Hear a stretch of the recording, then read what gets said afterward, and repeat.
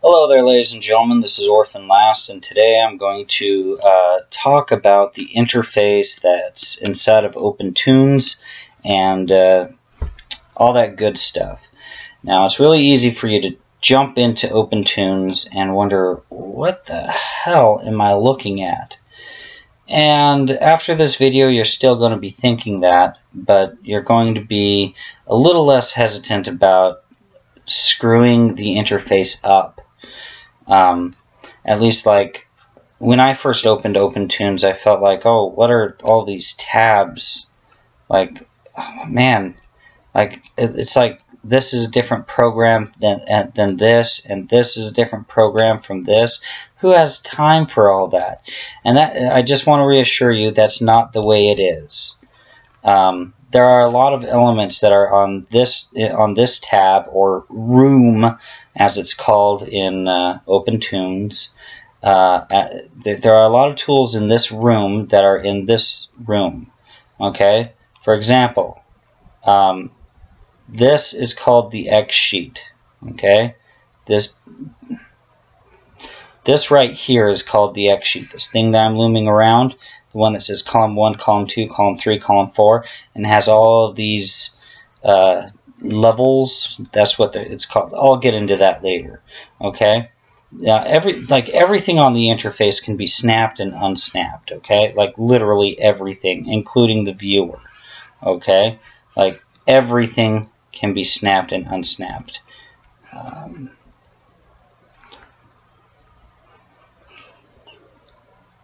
and I'm just proving it to you. Okay.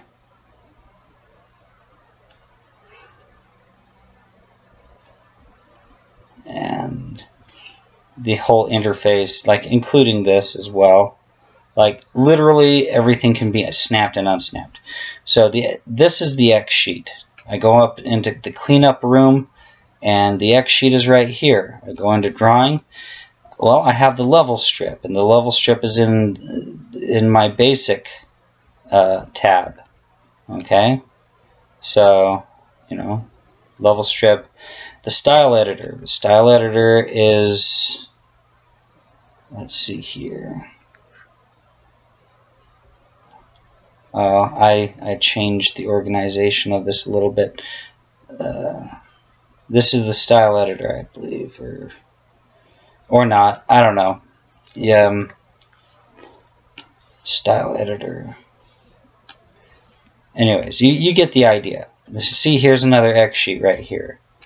And here, this, the room is called X sheet. This is gigantic X sheet. That's what this is.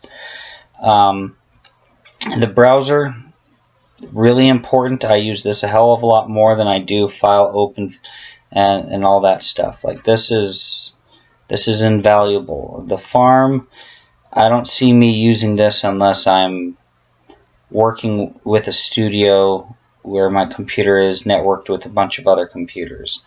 At least that's how I understand the farm as working. But I'm not going to delete it because I don't see a reason to. But that's something else, okay? If I go onto one of these rooms and then I uh, right click and select new, it creates a room called room. Now if I double click on this room and call it hello, it's I literally have a room called hello but it's empty right now okay? So I can just go ahead and uh, just okay I can just go ahead and uh, select the viewer and snap it in okay? And then I can go to the X sheet and I can just well okay I'm not going to do that yet. Um, I can go let's see here let's go to the palette. I don't mind having the palette snap into here okay?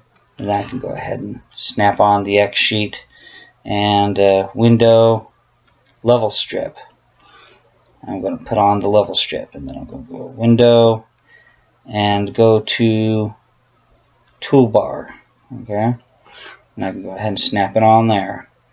Window let's see uh, tool option bar. Right on. Let's go ahead and put that Actually, I don't like it right there. Let's put it right there like that. That's perfect. Um, and, okay. Let's unsnap this, and then snap it back down. Now, if I go all the way down, you can see the green line goes all the way through the screen.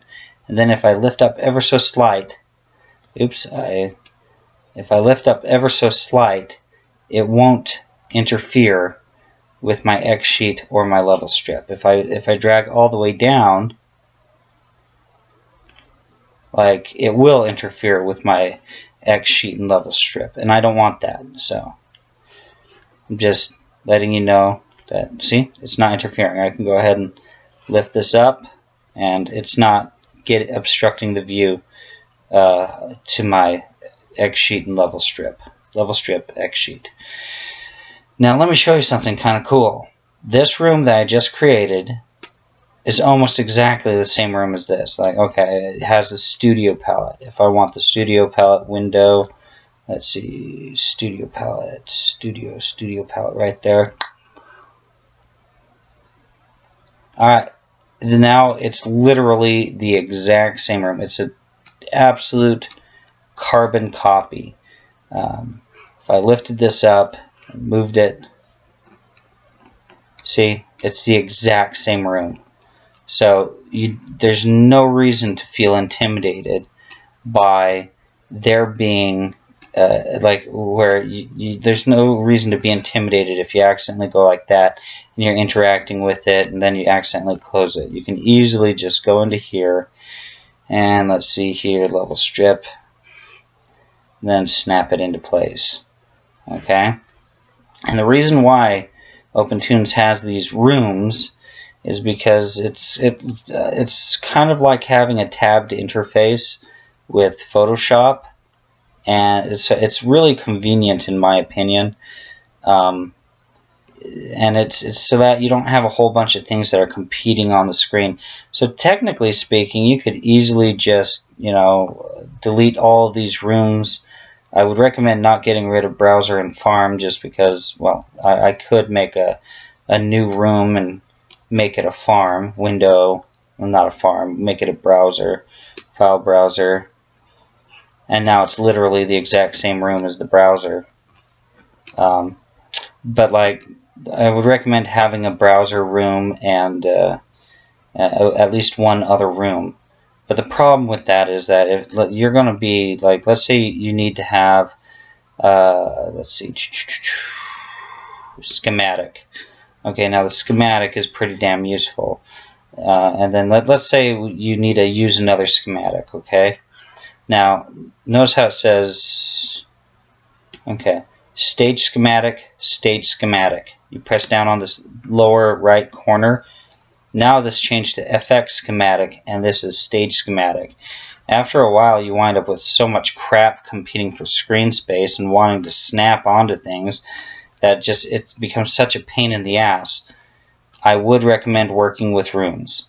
Now in order to, to delete a room you select a room that is not the room that you want to delete and you right click the room you want to delete and then you say delete room. Okay, let's do that. All right, so uh, we've talked about how, the rooms, what you can do with them, and that it's not like you have to learn a completely different program from one tab to the other. They're all showing the exact same thing, and they're all showing tools that are available for any other room. That's what we covered, and uh, so I hope you liked the video. I hope it was informative. I know you can't animate at this point in time just with this information, but these are little preliminary bits of information that I feel you need to know about the program before you actually start cracking it open and trying to animate and get yourself in trouble and wondering what is this room what is this room what what do I do with all this I want you to know that all of this is the exact same thing Anyways, you all take care. Have a good day.